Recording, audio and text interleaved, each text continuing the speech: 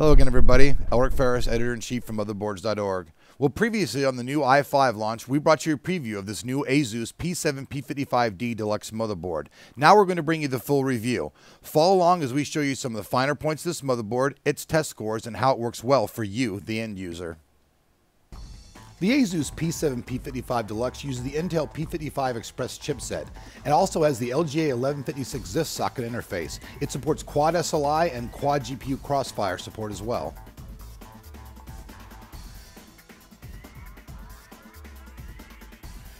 One thing that both enthusiasts and gamers alike look for in a motherboard is its overclocking options. Asus has special features to enhance your overclocking experience. The Asus Turbo V Evo Auto tuning and the Asus Turbo V remote offers real-time overclocking control. To keep your motherboard running stable and to keep it running cool, Asus has a couple features of their own to make this happen. The Asus Extreme 24 Hybrid Phase design features Asus's true 16 plus 3 phase power design plus their T-probe to make this happen. In today's PC market, there are so many memory manufacturers that you never know what memory will or will not work with your motherboard.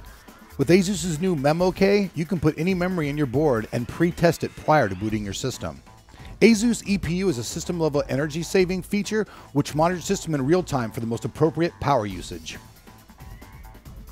Keeping your system running cool is a key element in maintaining your motherboard, and Asus uses a fanless design which features the Stack Cool 3, which can offer up to 11% cooler heat dissipation from your motherboard, and the Fan Expert, which offers active, quiet, and cool intelligent fan monitoring.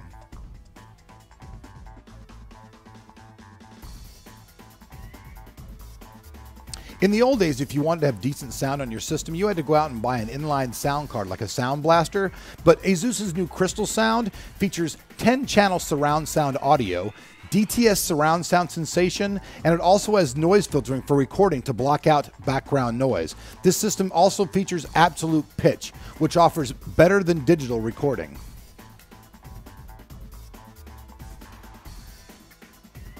Here is a shot of the retail box. And as you can see, we follow that up with pictures of the driver, the cables, and the manual.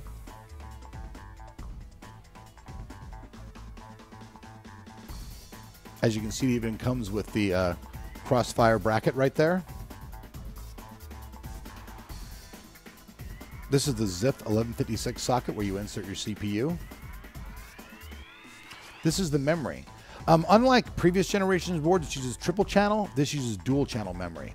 Here's where you insert your video cards, and as we stated previously, this, this board features quad SLI or quad crossfire support. This is the heatsink for the system bus, and these are all the plugins for your external USB and external SATA. This is where you plug in the Turbo V remote. Here's the RIO. The main features are 8 USB, dual LAN, IEEE, and digital sound, as well as a restart button. Here's the Asus Turbo V remote. This can control all of your overclocking functions in real time. Here is our new test system. As requested by our users, we have updated to all the latest products. And here are our test scores.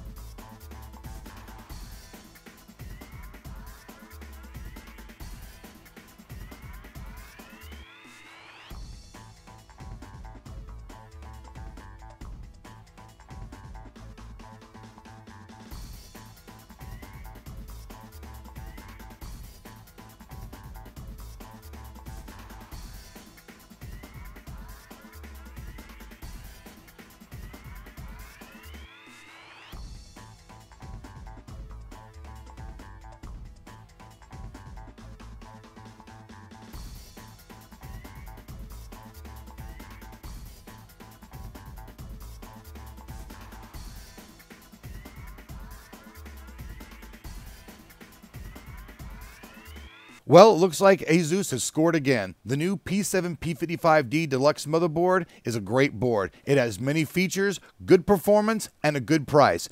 There is one board that's above this board, that's the premium, and it's a little bit more expensive and offers a few more features, but for the dollar, this is a great board. I give it a solid editor's choice here at motherboards.org.